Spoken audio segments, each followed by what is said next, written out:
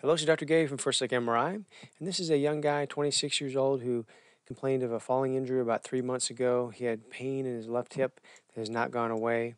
And on this view, the orthopedic surgeon uh, took an x-ray and found that the femoral head looked a little flat over here. It was also broad over here, which may be developmental and can cause pinching. But the thing that really caught their eye was over here, this lucency. Worried about maybe a bone tumor over here in the femoral head.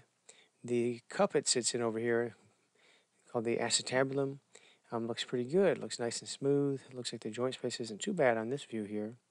And here it doesn't look bad either. So again, this flattening that's curious and this lucency over here um, is curious. So they did an MRI to see what these things were. And so this is a view called a T1 weighted image.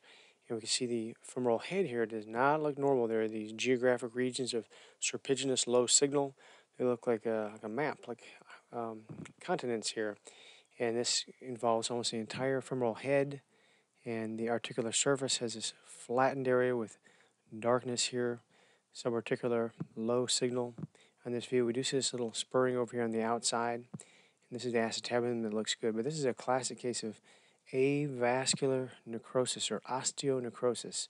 The blood supply is compromised and the bone is dying infarcting. And this is exactly what it looks like. You get these sharp serpiginous bands of low signal on this T1 weighted sequence. This is a view where fluid or inflammatory changes are bright. We see fluid in the bladder bright. We see fluid in the left hip joint is bright. Although there's, there's patchy brightness throughout the marrow space, and also beneath the articular surface, there's a little band of brightness here. And we see that there are some similar findings on the right side. So this is not just something localized to the left. So this is bilateral avascular necrosis, more severe on the left. And beneath the articular surface, the bone is weak there.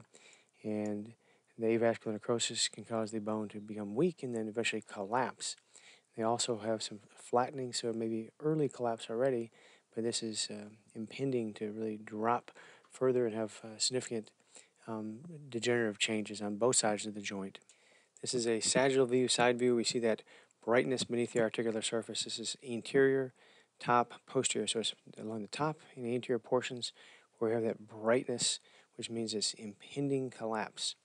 And so this is a case of severe avascular necrosis in this young male. Uh, they don't have an etiology for it yet, but this can be associated with a number of things like uh, um, steroid use, alcoholism, prior trauma.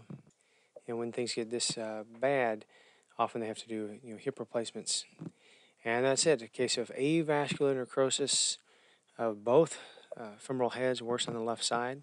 And thank you very much.